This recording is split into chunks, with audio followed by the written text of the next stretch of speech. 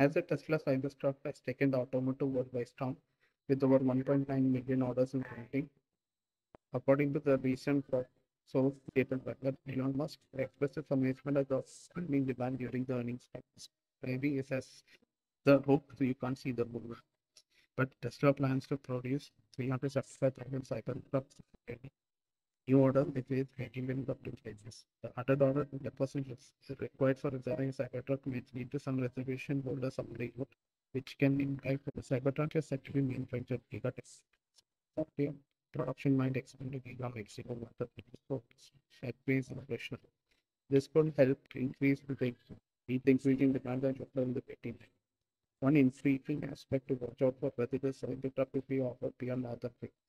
As of now, customers in Tesla's European and Asian markets can pre-order the electric vehicles, but due to the large size and heavy weight, selling its vehicles, some European countries might classify as a commercial truck or semi, affecting its market potential.